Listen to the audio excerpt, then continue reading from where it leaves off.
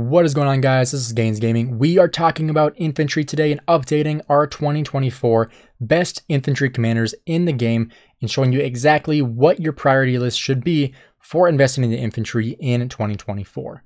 If you guys are new here, this is Gainz Gaming. We make Rise of Kingdoms content, so make sure if you're not subscribed already, you hit that subscribe button if you enjoyed this video. So Luce, I think, is the best commander in the game. So, you know, I'm not going to, you know, hold off and be like, wait, wait to see what the number one commander is. I think Luce is pretty obvious. I have made videos about him. I have, you know, talked about him in live streams. Every single piece of content I talk about Luce and how he is such a great commander. He is by far the best commander in the game. I think hands down, best commander in the game. Not even, not even remotely close. So the number one commander for infantry is 1000% Luce. I think you have three choices when it comes to infantry. The first choice is running one infantry march. And I think if you're running one infantry march, your one march is going to be Scipio Prime, primary, and then you have Luce secondary. I think this is the best infantry march in the game by far. And I actually don't use this march. And that is because I use two infantry marches. And that is our second criteria.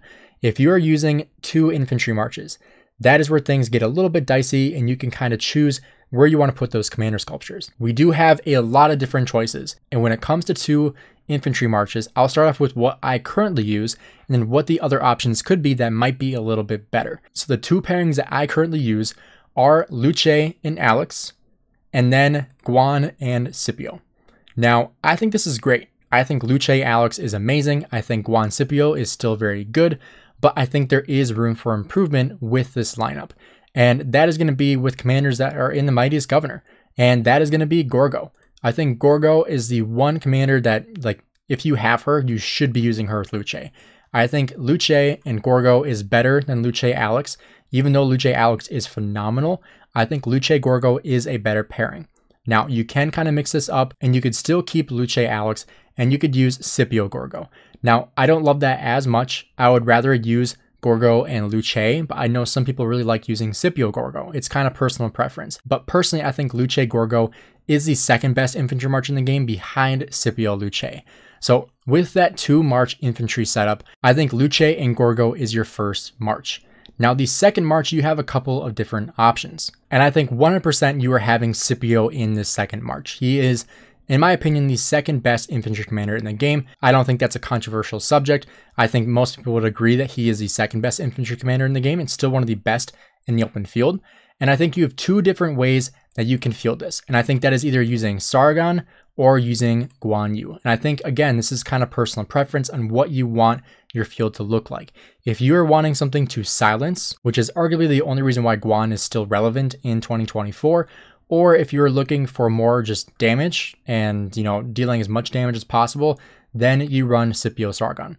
Now, I honestly think that Guan Scipio is going to be a better pairing than Scipio and Sargon, simply because with using Guan, you're benefiting all of your marches as well as your allies by silencing your enemies. Because with his AoE, you are able to silence three enemies at the same time, which is pretty huge. Now, this is huge not only for yourself, not only for your allies, but also to hurt your enemies even more because they're not able to use their active skill. That is huge because it's making you trade better, it's making your allies trade better, and it's making your enemies trade worse. So that is why I would still keep Guan Yu over Sargon, even though I do think Sargon is a better commander.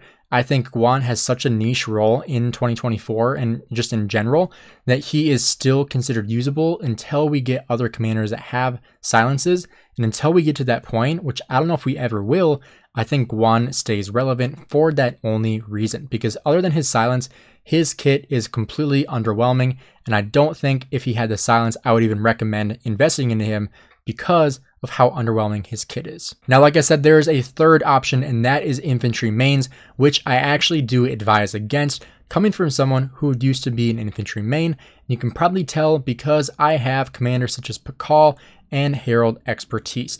Now, these are regrets of mine. I actually did Expertise Pakal within like the last year and a half, actually out of rage because I was so, so tired of trading so horribly, I was like, you know what, screw this. I'm just investing in Pakal.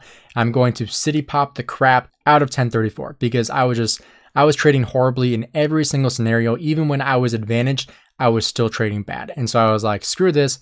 I'm investing in Pakal. I did it on stream. Uh, I can I can blame Redline because he actually told me to do it, or he donated and he was like, "Yeah, go ahead, that's good content." And so I, I mean, obviously I, am not blaming him for it. I thought it was hilarious, and I don't regret it really because it was good content, and I still have 1,500 gold heads to use up right now, so it's not like I'm hurting for gold heads. But I did invest in Pakal, and I did invest in the Harald. And, you know, Harald has actually given quite a bit of kills in my days of using him, of using him with Alex, using him with Scipio. He actually hasn't been such a bad investment, but Pakal obviously is more of like a meme at this point because he really just got me like no kills whatsoever and throughout my entire time using him. But, you know, it's kind of a meme at this point. But when it comes to infantry mains, I don't think it's a good idea simply because there just isn't enough depth in the infantry pairings to warrant having three marches. However, I will still give my recommendations on what I think could be good options for you when you are running three infantry pairs. I think your first pair is still going to be Luce and Gorgo. I think that is still a great pairing to use in the open field. I think you're going to be very happy with that. The second pairing is going to be Scipio and Tariq. Now, this could be switched out with Scipio and Harald or Scipio and Alexander the Great. That is going to be, you know, dependent on what you have invested into. If you have Harald, if you have Alex, or if you are going to invest into Tariq as a rally leader, then you can kind of choose where you want. I personally think that Tariq or Alex are going to be the better options because they have more viability. Although Harald is going to be good if you do get targeted and swarmed down, you're going to trade a little bit better. So it's kind of personal preference at that point. Now your third march is going to be Guan Yu and Sargon the Great. I do really like this march in the open field. I think it's very viable. You could use it as a second march if you're willing to bench Scipio, or if you want to do Scipio and Luce instead of Gorgo, then you could do Scipio Luce and Guan Sargon. I think that's a great two pair as well. If you're not going to invest into Gorgo and just invest into the wheel commanders, I think that is a good idea. But like I said, I think Gorgo is a better fit with Luce, but it's kind of however you want to play out your commanders. But when we get to the point where we're running more than three infantry pairings, that's kind of when like the infantry main gets really disincentivized to do that.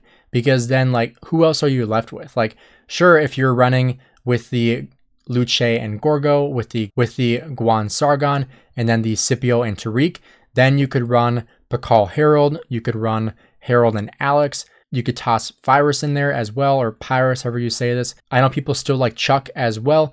You know, obviously Flavius has some viability in the open field, but honestly, like we just don't have a lot of depth with infantry. And honestly, once you get over two infantry pairings, you really lose a lot of viability and you kind of, you know, just are not going to trade very well because you're just way too dominated on infantry that isn't really that great in the open field anyway, besides the introduction of Luce and Scipio Prime.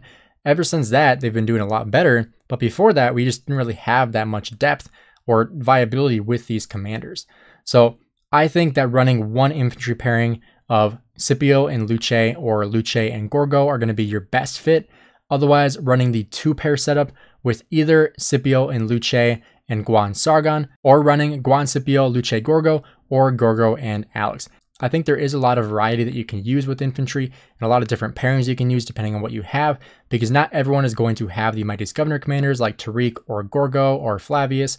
So, you know, obviously you can kind of pick what you're going to have available. Pretty much everyone has Alexander the Great.